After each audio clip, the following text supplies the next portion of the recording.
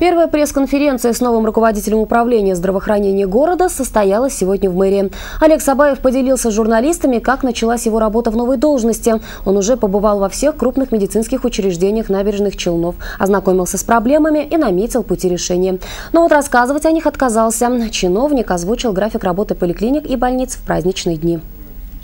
С 1 по 9 января во всех поликлиниках города будут работать участковые терапевты, врачи общей практики и участковые врачи-педиатры.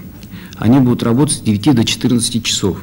То есть вызов а, врача на дом в регистратуре также принимается с 9 часов а, и до часу. В таком же графике работают процедурные и перевязочные кабинеты. У детских поликлиник свой режим дежурства. С подробным графиком работы медучреждений можно ознакомиться на нашем сайте stvdefismedia.ru. И нововведение, которое будет действовать с первого дня Нового года в детской стоматологии номер один, будут принимать пациентов круглосуточно.